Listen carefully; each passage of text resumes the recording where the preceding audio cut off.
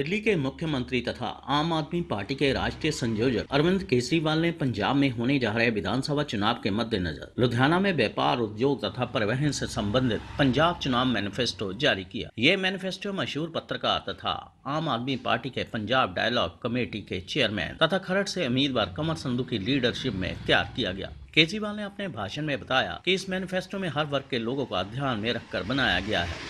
उन्होंने कहा, अकाली भाजपा के 10 वर्ष के कांग्रेस के 5 साल, यानी कुल 15 वर्षों में पंजाब की जो इंडस्ट्री बाहर जा चुकी है, पंजाब में आपकी सरकार आने से वो वापस आ जाएगी। उन्होंने अपने भाषण में कहा कि पंजाब में नशा दूर करने के लिए पूरा खाका तैयार हो चुका है। लुधियाना से अरुण भोगल।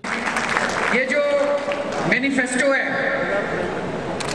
ये किसी एयर कंडीशन कमरे में बैठ के नहीं बना।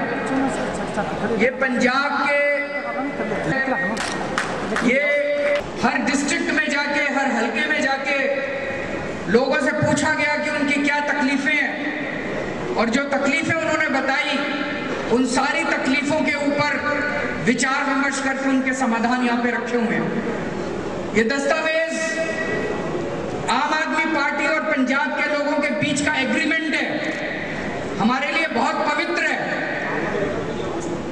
मुझे ये देख के बड़ा आश्चर्य हो रहा है आम आदमी पार्टी का यूथ मैनिफेस्टो आया हमने बताया कि अगर आम आदमी पार्टी की सरकार बनेगी तो पंजाब के युवाओं के लिए क्या करेगी?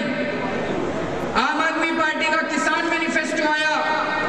हमने बताया कि आम आदमी पार्टी की सरकार बनेगी तो किसानों की स्थिति कैसे सुधरेगी?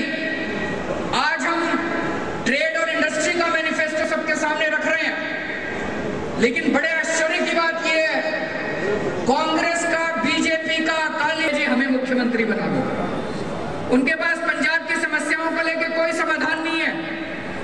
पंजाब की कोई चिंता नहीं है उन्हें पंजाबियों की कोई चिंता नहीं है वो केवल धर्म और जाति के नाम पे वोट मांगने के लिए आते हैं और जीतने के बाद पंजाब को लूटते हैं पंजाबियों को लूटते हैं देखो ये जो मैनिफेस्टो बनाया है ਇਹ ਟ੍ਰੇਡਰਸ ਨੇ ਤੇ ਟਰਾਂਸਪੋਰਟਰਸ ਨੇ ਇੰਡਸਟਰੀ ਵਾਲਿਆਂ ਨੇ ਖੁਦ ਬਣਾਇਆ ਇਹ ਜਾ ਕੇ ਉਹਨਾਂ ਨਾਲ ਡਿਸਕਸ਼ਨ ਕਰਕੇ ਜੋ ਉਹਨਾਂ ਦੀਆਂ ਡਿਮਾਂਡ ਸੀ ਉਹਨਾਂ ਨੂੰ ਲੈ ਕੇ ਉਦੋਂ ਬਾਅਦ ਐਕਸਪਰਟਸ ਦੇ ਨਾਲ ਉਹਦੀ ਸਲਾਹ ਕਰਕੇ ਤੋਂ ਫਿਰ ਜਾ ਕੇ ਇਹ ਮੈਨੀਫੈਸਟੋ ਬਣਾਇਆ ਗਿਆ ਤੋਂ ਇੱਕ ਐਸਾ ਮੈਨੀਫੈਸਟੋ ਜਿਹੜਾ ਉਹਨਾਂ ਨੇ ਖੁਦ ਬਣਾਇਆ ਜੋ ਚਾਹੁੰਦੇ ਹੋ ਬਣਾਇਆ ਇਹ ਕੋਈ ਮੈਨੀਫੈਸਟੋ ਬਣਾ ਕੇ ਉਹਨਾਂ ਦੇ ਥੋਪਿਆ नहीं गया जी देखिए क्योंकि मुझे लगता है कि इंडस्ट्री पंजाब की और जो पंजाब का ट्रेडर है वो बहुत ज़्यादा पिछली सरकारों ने इग्नोर किया है उसको और वो आज हालत ये है कि किसान तो अ, इस तरह इस कदर परेशान है कि उसके पास कोई दूसरा अल्टरनेटिव नहीं है तो उसको सुसाइड की तरफ जाना पड़ता है किसान भी बहुत परेशान है, लेकिन इंडस्ट्रियलिस्ट के पास एक अल्टरनेटिव है, वो उसके पास पूंजी होती है तो वो सेकंड ऑप्शन अपना रहा है कि पंजाब को छोड़ के पंजाब से बाहर जा रहा है। वो जाके अभी देखिए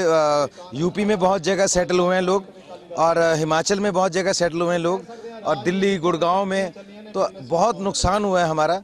तो आज मुझे लगता है कि आशा की एक किरण जो बची थी, वो आम आदमी पार्टी और अरविंद केजरीवाल साहब। और मुझे लगता है आज जो हमारा मैनिफेस्टो रिलीज़ होने वाला है, इसके बाद कम से कम नहीं तो एक साल में पंजाब की बाहर गई हुई 50 परसेंट इंडस्ट्री वापस आ जाएगी पंजाब में।